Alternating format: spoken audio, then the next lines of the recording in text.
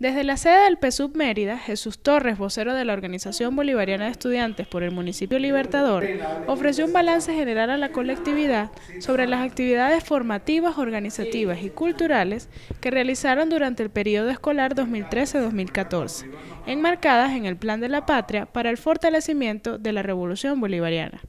Actualmente, la Organización Bolivariana Estudiantil, a través del cierre de año escolar, está cerrando su, transmisión, ¿no? su, su periodo. Pero esto comienza eh, el inicio del trabajo ya para el próximo año escolar. ¿no?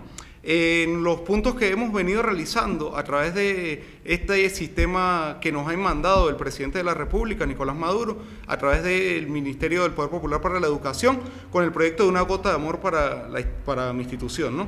Ahí ya se inició el despliegue, estamos con dos instituciones que ya fueron recuperadas en su totalidad el Rómulo Gallegos y la Escuela Técnica Comercial José Félix Riva. Que este despliegue no quedara ahí, ¿no? sino que los líderes de educación media también aportaran con trabajo social, con trabajo comunitario, porque así lo vemos nosotros. ¿no?